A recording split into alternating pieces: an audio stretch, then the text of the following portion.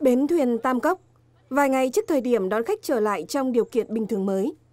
Công nhân vệ sinh môi trường tranh thủ dọn sạch rác ở khu thuyền bè tập kết.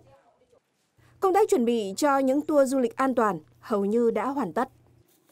Chúng tôi cũng đã ờ, phối hợp với Sở Du lịch, rồi Trung tâm ờ, xúc tiến du lịch ờ, Ninh Bình, là phối hợp với Tổng công ty Du lịch Hà Nội là xây dựng một cái kế hoạch đón khách an toàn, Ờ, phối hợp ờ, từ khâu đón ờ, khách từ các cái tỉnh thành phố đến. Thứ hai là phối dịch phối hợp trong cái việc là ừ, phòng chống dịch để làm sao khách đến đây tham quan du lịch an toàn nhất. Sau một thời gian dài giãn cách, cùng với nỗ lực của các cơ quan chức năng, những người làm du lịch Ninh Bình rất hy vọng cũng như chờ đợi sự quay trở lại của du khách.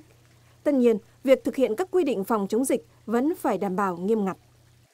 Khi ta tiếp nhận khách ấy, thì ờ, chúng tôi cũng sẽ phối hợp cùng với lại cái cấp chính quyền để ờ, tiếp nhận khách từ cái vùng an toàn, vùng xanh ờ, và đảm bảo các cái quy định về về 5K giống như là có thể như chuẩn bị các cái trang thiết bị giống như là khẩu trang này, xịt khuẩn và đo thân nhiệt cho khách. Sau đó thì phối hợp cùng với khách cái khai báo y tế và có những cái chương trình đưa khách đến những cái điểm đến an toàn.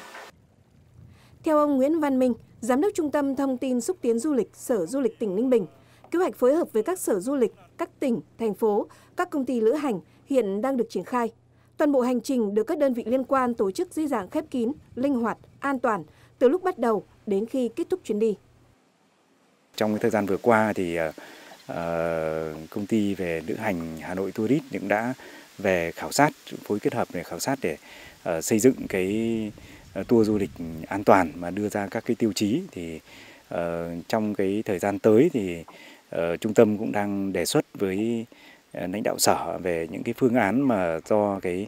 Ờ, các cái công ty mà lữ hành cũng như là hiệp hội du lịch ờ, Ninh Bình cũng như hiệp hội du lịch Việt Nam đã đưa ra là để đảm bảo những cái tour du lịch an toàn. Chúng tôi sẽ đón khách du lịch ngoại tỉnh nhưng trên tinh thần chung thì vẫn đặt nhiệm vụ là an toàn lên hàng đầu và chúng tôi sẽ có các cái tiêu chí an toàn để triển khai đến các khu điểm du lịch, đặc biệt là phối hợp với các cái hãng lữ hành ờ, ở các cái tỉnh thành, ví dụ như Hà Nội, Hải Phòng, Quảng Ninh để đưa khách về đây trong một cái vòng à, an toàn. Dự kiến, Ninh Bình sẽ mở cửa chào đón khách du lịch ngoại tỉnh trong tuần đầu tiên của tháng 12 trong điều kiện đảm bảo an toàn tuyệt đối, tuân thủ tối đa quy định phòng chống dịch COVID-19.